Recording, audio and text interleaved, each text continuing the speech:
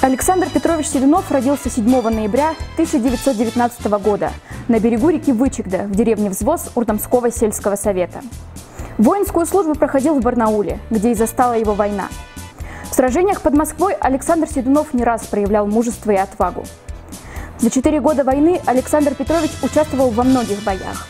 Но особенно ему запомнились осенние дни 1943 года, когда наши войска, очищая от немецко-фашистских захватчиков советскую землю, форсировали Днепр.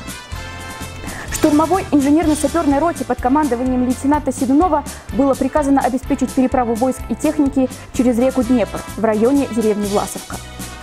В течение ночи его рота сделала 11 рейсов. Вместо одного полка переправили весь личный состав трех стрелковых полков – Будучи ранен сам, Александр Петрович Седунов вынес из-под вражеского огня раненого командира полка Березина. За умелое руководство переправы через реку Днепр лейтенант Седунов указом Президиума Верховного Совета СССР от 22 февраля 1944 года был удостоен высшей награды – звания Героя Советского Союза.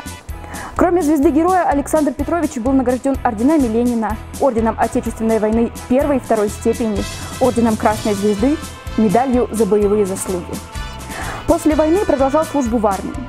С 1974 года полковник в запасе. Умер Александр Петрович в 1992 году в городе Ленинград, где и находится его могила.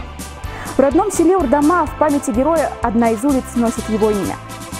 Мы чтим память тех, кто внес свой вклад в разгром ненавистного врага на фронте и в тылу.